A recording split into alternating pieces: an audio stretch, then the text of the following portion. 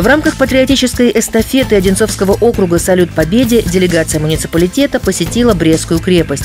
Они почтили память героев, которые первыми приняли на себя удар фашистских захватчиков 22 июня 1941 года. Директору мемориального комплекса «Брестская крепость. Герой» передали памятные сувениры от первого зампреда Мособлдумы Ларисы Лазутиной и благодарственное письмо главы Одинцовского округа Андрея Иванова.